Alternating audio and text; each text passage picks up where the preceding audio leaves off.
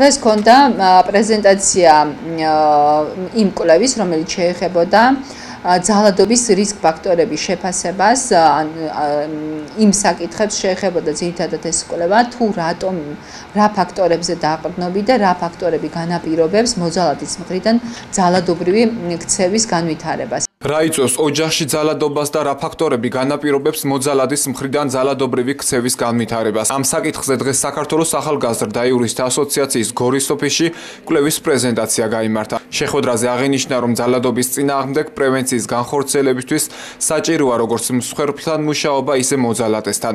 უნდა გამოვლინდეს თუ რა გამოწვევების წინაშე დგანან მოძალადეები, საჭირდებათ დახმარება და ასე შემდეგ, რათა მათ დაძლიონ საკუთარი არაჯანსაღი და დესტრუქციული ქცევა.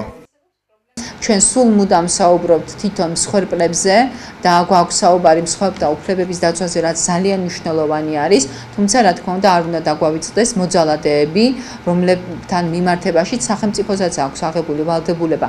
მოახდინოს მათი რეაბილიტაცია და ძალიან მნიშვნელოვანი არის აქედან გამომდინარე სწორი სწორად იქნეს დანახული ის გამოწვევები, რომლებიც ამ შემთხვევაში მოძალადეების მხრიდან არის, კერძოდ რა განაპირობებს მათ ძალადობრივ ქცევას, რომ სწორად მასთან მიმართებაში მოხდეს ბრძოლა და არა უკვე შედეგთან მიმართებაში, რომელიც ჩვენ როგორც ძალადობა უკვე ფაქტის სახით დაგვიდგება. ძალიან მნიშვნელოვანია ეს კვლევა, რადგან საზოგადოება და ამ სფეროში მომუშავე ადამიანები, ორგანიზაციები დააფიქროს იმაზე, თუ რა საჭიროებები აქვთ მოძალადეებს, სად ჭირდება დახმარება და რა გამოწვევების წინაშე დგას.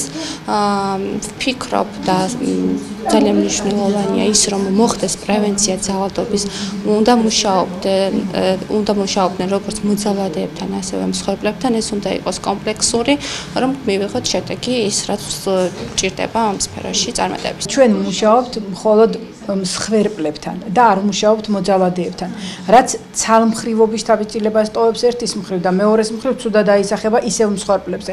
იმიტომ რომ მოძალადეები ჩვენი საზოგადოების წევრები არიან, ჩვენი ნაწილია, ჩვენი საზოგადოების ნაწილია და შესაბამისად მათი ცხოვრებაც ჩვენ უნდა გვაინტერესებდეს უკეთესობისკენ შევცვალოთ და ისინიც იყვნენ საზოგადოების ისეთი ღირსეული წარმომადგენლები, როგორც მსხვერპლებთან გვაინტერესებს. ჩვენი დამოკიდებულება თუ არ შევცვალეთ მათ საქციელზე და მათ ქცევაზე, ისი არაფერი არ ეშველება.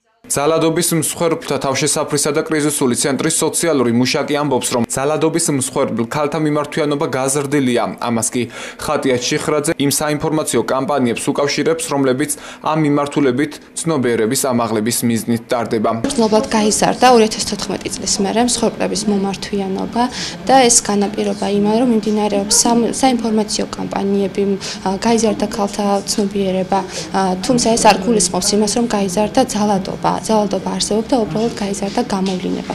რაც რა თქმა უნდა მნიშვნელოვანია საზოგადოებამ ხმა უნდა აიმაღლოს იმისთვის, რომ ვებრძოლოთ ძალადობას და რაც მეტი გამოვლინება იქნება და მეტი წინააღმდეგობა იქნება ძალადობის წინააღმდეგ, რა თქმა უნდა მნიშვნელოვანია ჩვენი საზოგადოებისთვის. კვლევის შედეგად გამოიკვეთა, რომ ძალადობის ძირითადი რისკ ფაქტორებია ბავშვობაში გადატანილი ძალადობა, დაბალი აკადემიური მოსწრება, ცხოვრების მანძილზე გადატანილი ტრამვები, ფსიქიკური პრობლემები და სხვა. ამასთან ერთად, ლამარ მარა შაყულაშვილის განცხადებით მოძალადეება ძირითადად ყალიბდებიან ისინი, ვინც ისეთ ოჯახებში აღიზარდნენ, სადაც მუდმივად იყო ძალადობა და თვითონ იყვნენ ძალადობის მსხვერპლნი. ძალადეები არიან იმ ოჯახების წარმომადგენლები ძალიან ხშირად, რომელთა ოჯახებშიც იყო ძალადობა. ძალადობა, ძალადობრივ ოჯახში აღზრდილი ადამიანი ძალიან იშვიათად არის, რომ არ იყოს ძალადობის მსხვერპლი. ისინი იღებენ იმ მოდელს, სადაც აღიზარდნენ და სადაც გაიზარდნენ. თუ უნდათ მამაკაცებს რომ მათი შვილები ცხოვრობდნენ კარგ გარემოში, აუცილებლად უნდა იყონ არა მოძალადეები, არამედ მეგობრები მათი შვილების, ოჯახის წევრების და ასე შემდეგ სრულიად საზოგადოების მიმართ. შეხვედრაზე აღინიშნა, რომ მოძალადეებთან მუშაობა სახელმწიფოს ვალდებულებაცაა და ამ ხრივ მიდგომები უნდა შეიცვალოს.